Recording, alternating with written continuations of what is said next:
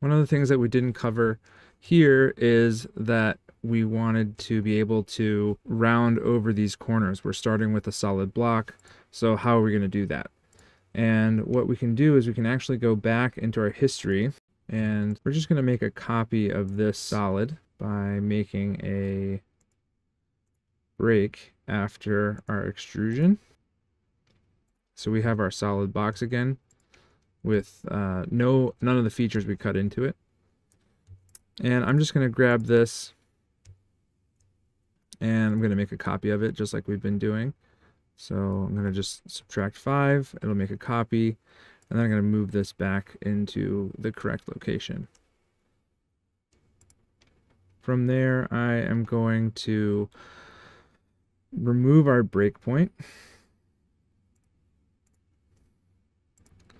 And I'm going to hide the part that we made that is driving a lot of the other features that we're using. So I'm just going to hide that body.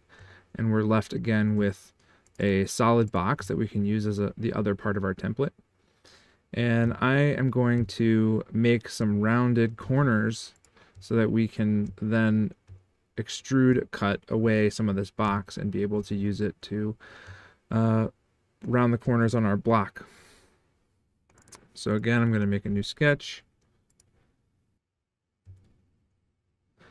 And I'm going to project these curves back down.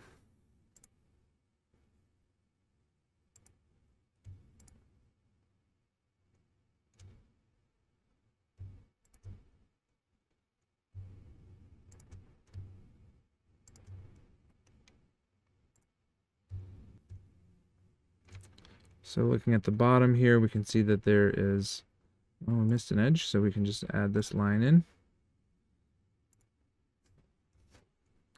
We want to be able to round over these corners and be able to reinsert this block however we need to in order to be able to, to cut those shapes out. So a really simple way of doing this is I am just going to cut this block here by adding a line through the midpoint like that. And then I'm just going to extrude this face up.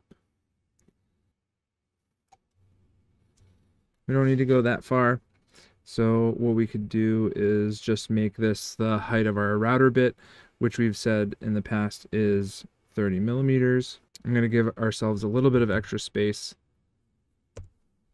and that gives us plenty of room to be able to use this as a template to be able to round over this corner and also flip this block around in any direction so that we can get all four of the routed over edges.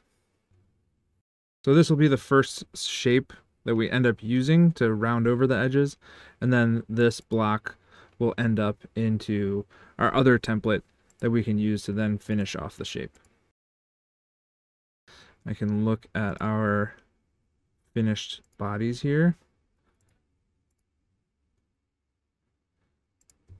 Here's the other body. So this gives us plenty of room to make our templates and to carve out the rest of the shape.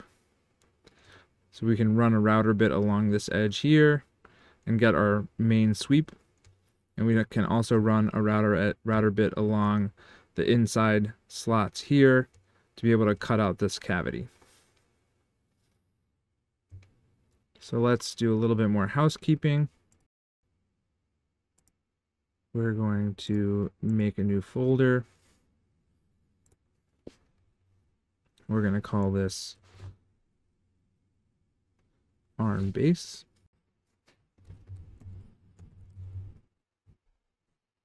I'm just going to move these parts in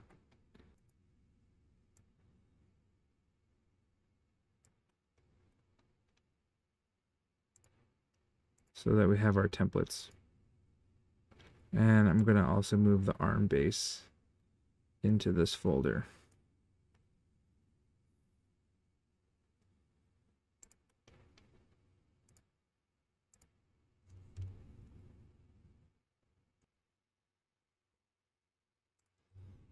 We can also grab these sketches and drop those into our arm base folder and that way everything stays together.